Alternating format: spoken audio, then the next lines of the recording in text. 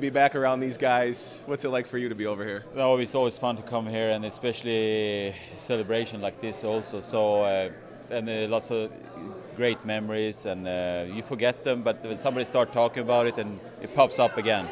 To be in that group last night, to put those jerseys on again. I know you're around here every day, but was last night pretty special? Yeah, it sure was. Uh, you know, I think you could tell by you know the the excitement and the expression on everyone's face how much they enjoyed last night. The presentation, the ceremony was fantastic.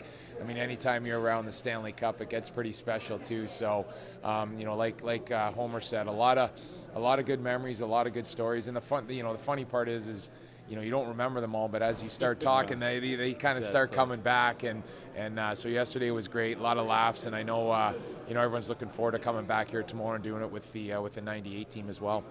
Who have you not seen in a while, and who'd you maybe give the biggest hug to for the first time in a while? Uh, I don't know. It's, it's, it's you know have, it's been the Corona, so I haven't uh, been here for over three years. So it's uh, it's been a long time. I haven't seen the guys in a long time. So everybody looking good. Some guys might gain weight, lose some hair, but uh, it's all good. It's lots of fun. Come on in here. Come on in here.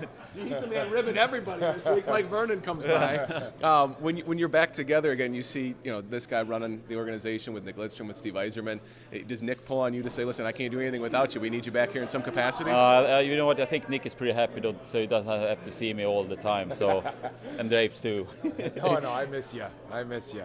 How, how cool is it to have so many of you guys running this organization where you can have these reunions and it's almost like welcome back home. You can show them around the building and, and you're kind of the, the housekeeper of this beautiful building. Yeah, I mean, you know, for me, obviously coming down here is uh, it's it's still special. You know, uh, I thought. Uh, you know, but for you know bringing you know guys in that haven't you know been down here and, and certainly hasn't haven't seen the facility, you know, they're just obviously state of the art. You know, just kind of walking around seeing it. There were some guys that actually, you know, left Mr. and Mrs. Ilitch suite yesterday just to kind of walk around and, and kind of see the building and you know all the memorabilia that that's through there. And then you know today you get to walk in and see the dressing room, and obviously we're having lunch in there, and you know so it's it's great to be able to, to have everybody here for a couple days, and you know whatever's going on, it's it's all about you know uh, you know celebrating the '97 and '98 team. So obviously very special guys will have these reunions for years. It'll be the 50th anniversary down the road, and maybe you guys yeah. will gain a little bit more weight, lose a little bit more hair, but yeah. you guys will always have this. Do, do, you, do, you, realize that when you when you get back around this group?